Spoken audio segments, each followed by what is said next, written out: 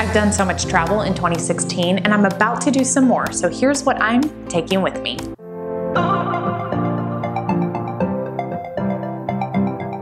So first off, I need my laptop and my laptop charger. This is a MacBook Air, so it's nice and light.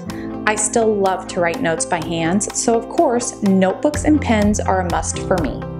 I also bring along my external hard drive, a set of headphones, my phone charger, and of course a backup phone charger.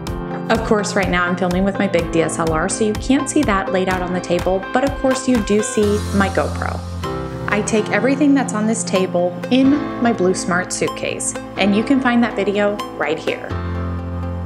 Please let me know what kind of tech you guys take along with you on your travels. Please don't forget to hit that red subscribe button because when I hit 6,000 followers, I will be giving away a huge surprise. I'll see you guys back here next week.